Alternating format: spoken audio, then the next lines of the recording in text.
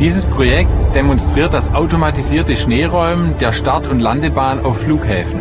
Wir wollen damit zeigen, dass das automatisierte Fahren auf Betriebsgelände mit der Technik, die ein Mercedes-Benz LKW an Bord hat, möglich ist.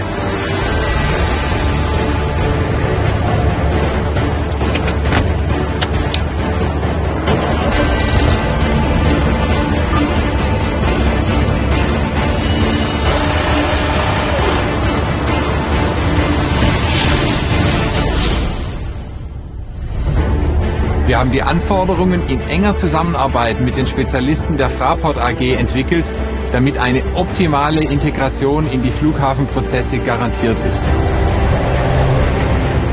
Die Vorteile liegen klar auf der Hand. Wir ermöglichen so einen sehr schnellen und flexiblen Einsatz der Fahrzeuge mit höchster Präzision. Auf aufwendige Sensorik haben wir dabei verzichtet, da sich im ersten Fahrzeug ein Operator befindet, der gemeinsam mit einem Begleitfahrzeug das gesamte Umfeld und den Betrieb überwacht.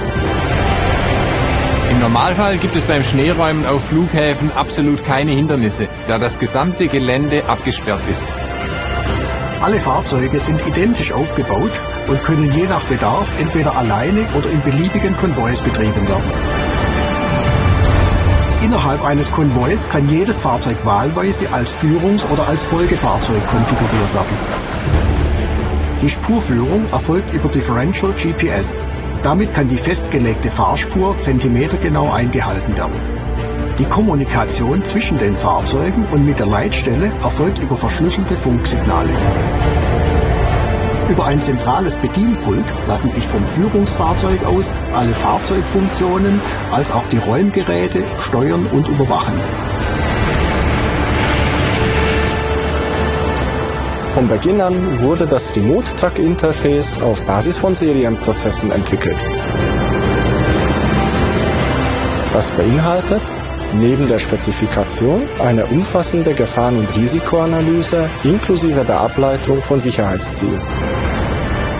Dadurch wird bei einem Systemfehler der sichere Fahrzeugstopp jederzeit gewährleistet.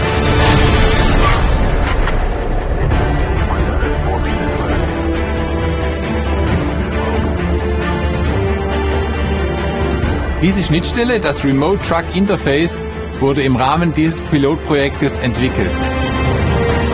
Soll in Zukunft dazu dienen, auch in weiteren Anwendungsfällen das automatisierte Fahren auf Betriebsgelände zu ermöglichen.